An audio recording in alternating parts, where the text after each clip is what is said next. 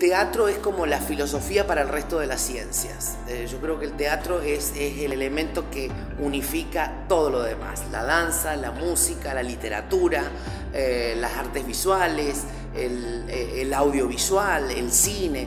O sea, creo que el teatro es como el, fundamento y fundador y elemento fundante del resto de las disciplinas artísticas. uno hace el artista plástico hace teatro.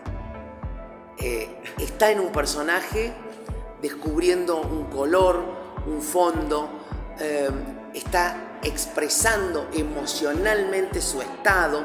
Entonces son construcciones que tienen que ver con el teatro. El teatro entonces, por eso yo digo que es como el elemento fundante del resto de las artes.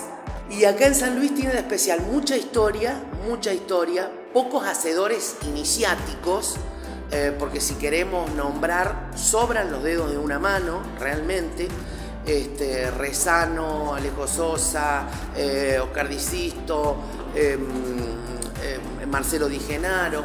Hay pocas, eh, Ricardo Martínez, no me quiero olvidar de nadie, por Dios, pero digo, hay pocos, pocos, pocas personalidades que han hecho el trabajo.